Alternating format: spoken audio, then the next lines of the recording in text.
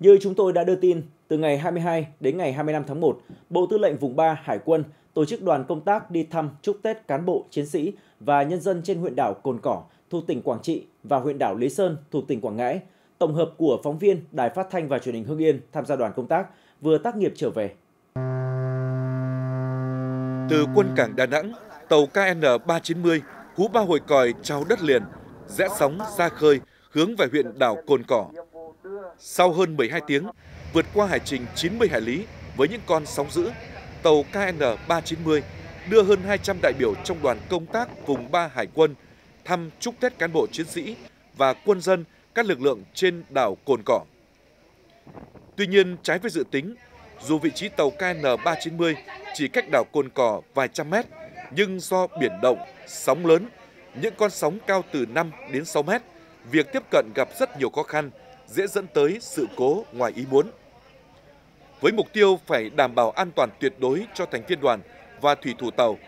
lãnh đạo đoàn đã quyết định trung chuyển hàng hóa lên cano để đưa lên tàu cá vận chuyển lên đảo và chúc Tết cán bộ, chiến sĩ, quân dân huyện đảo Cồn Cỏ qua kết nối trực tuyến.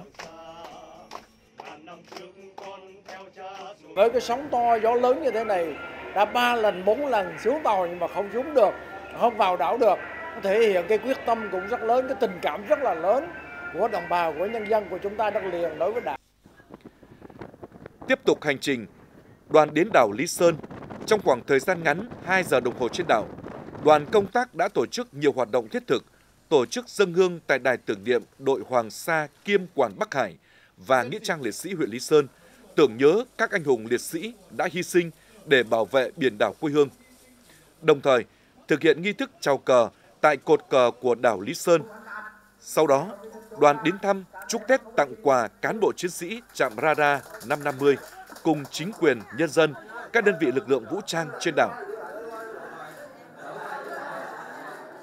Quân với dân là cùng chung một ý chí. Đó thì à, dân đối với Lý Sơn của chúng tôi là dân biển. Lúc nào cũng là hướng về Hoàng Sa và Trường Sa. Trước thì đánh bắt, ra thì cũng bảo vệ ờ, chủ quyền biển đảo.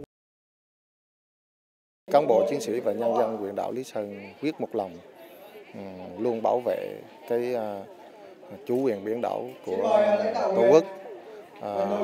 luôn luôn phát huy cái truyền thống à, trong việc giữ gìn chủ quyền biển đảo. Và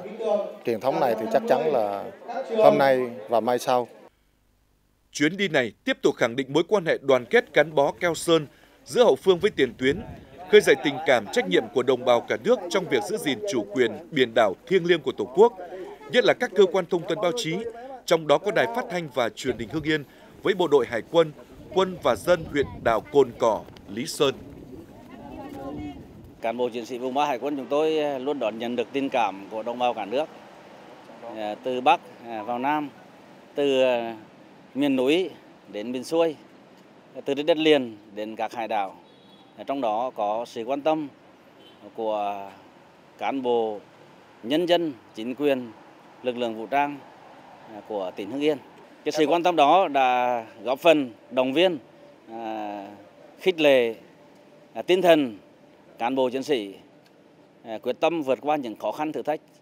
phấn đấu hoàn thành tốt các cái nhiệm vụ được giao, đặc biệt là cái nhiệm vụ chính trị trung tâm là quản lý, bảo vệ vững chắc cái chủ quyền biển đảo, khu vực miền Trung, nói riêng và biển đảo của Tổ quốc nói chung. Rồi, mọi người tươi lên ạ.